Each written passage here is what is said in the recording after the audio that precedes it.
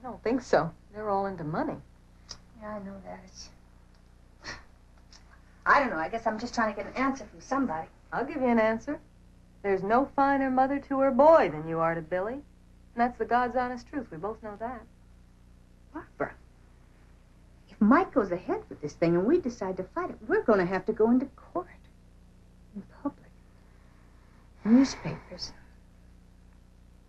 Do you know what that could mean? Oh, it could mean nothing. Absolutely nothing. And it could mean our jobs, this house, everything. I don't know that I have the right to ask that of you. I don't know. You have the right not to ask me. Shutting me out's no favor, Linda Ray.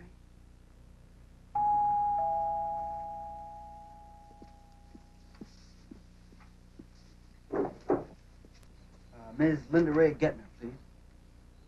That's me. Ms. Guettner, this is a notice of an action being instituted uh, which you're a party. Thank you. Have a nice night now.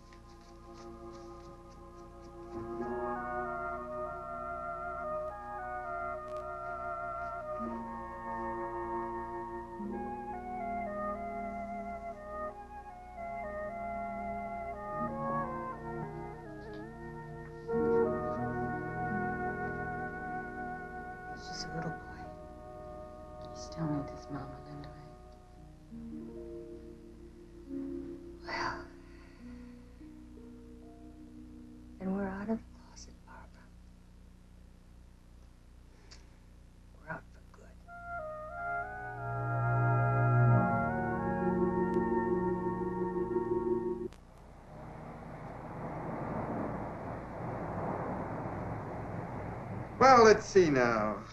See what we're confronted with here.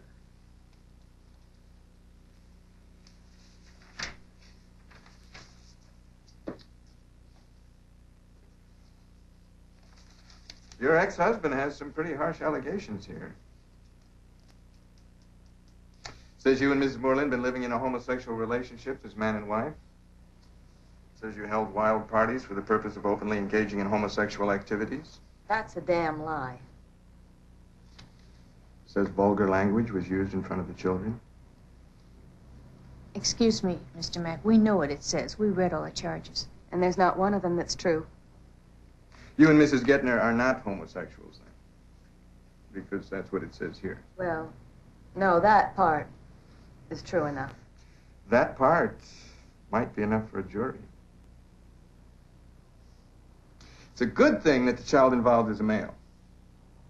Why is Billy being a male good for our case? I can't see as it'd make any difference.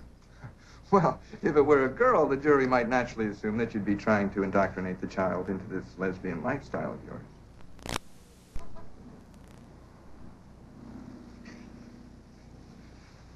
I don't think this is going to work out. Why is that, Mrs. Guettner? Well, I'm just a layperson, and I don't know much about the law and all. But I believe a person who says what you just said and believes it is an ass. Thanks.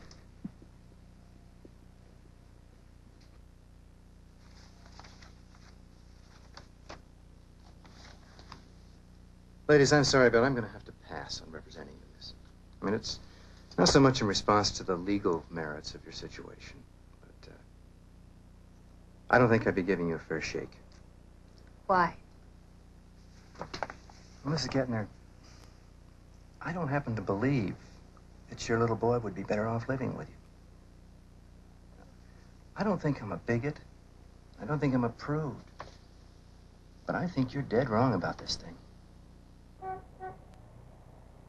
Well, Mrs. Guettner, I don't want to take up your time when nothing's going to come of it. I understand that child custody cases are heartbreaking for the people involved, and I don't mean to minimize that for a minute. However, it's just not the sort of case that Richard, Mr. Cannon, and I went into practice to handle. I don't think I understand what you mean. Well, Miss Levis and myself sort of have an understanding that we would uh, concentrate on important issues when we set up this office. And uh, your case, while I'm sure it has merit, just doesn't fall in that category. Lesbians aren't important. Please? Me and Linda Ray. We're lesbians. Linda Ray's little boy is being taken away because of that. Because of what we are. He alleges that you'd run away with the children. I got $113 in the bank. How far am I going to run with that? He alleges that David was so upset by the relationship between you two that he uh, moved in with his father. David was bribed away with that car. And he alleges that you held wild parties for the purpose of openly engaging in homosexual activities. That's a lie. That's a flat out lie, and he knows it. I can't believe he'd say that. Can you prove it's a lie? Well, no. How can you prove something like that? But I'm going to be under oath, aren't I? And so is Barbara, for that matter. It doesn't matter what you say or what Barbara says. There's no jury's going to believe either one of you. And I'm not so sure they ought to. Come right down to it. Why don't you think they ought to believe us? Because you're both dykes. All you care about, really, is yourself and your own sick, twisted version of reality. You'd pick up pieces of meat a blind dog would cross the street to avoid. You'd make a pass at a rock if someone put panties on it. You're a threat and a disgrace to every decent woman who ever drew a breath.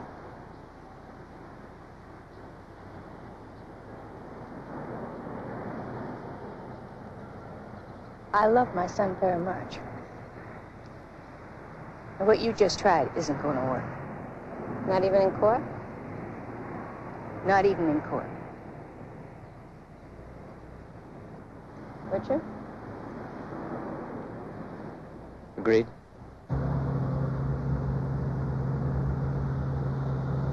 Penny, Oh, I was just thinking about Mama.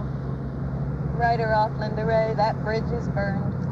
No, I don't think so. Why not? Oh.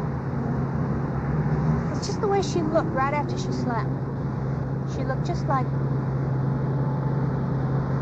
Well, she looked just like Mama.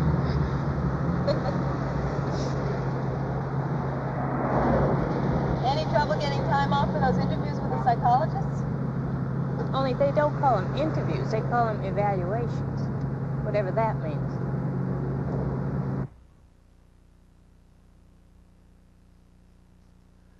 Seem like a confident woman, Mrs. Guettner? Oh, thank you. I am in uh, in some things, I suppose. What aren't you confident about? Um, what do you mean exactly? Oh. What worries you? Everybody has worries. Oh, I just the regular things. I think, you know, money, my job, whether something'd happen, the country'd go to war. Do you worry about war a lot? Uh, oh, well, what, what's a lot? You tell me. What do you think a lot is? Uh, your lawyers are quite correct. I do agree with the stand taken by the American Psychiatric Association that homosexuality is not a mental illness or an aberration, essentially just an alternate lifestyle. Then will you testify for me at my child's custody hearing? I hope that won't be necessary. Why? Well, it will take time away from my other patients, for one thing. And to put it bluntly, it's an unpopular cause, and I'm no martyr. But if it's necessary, would you testify?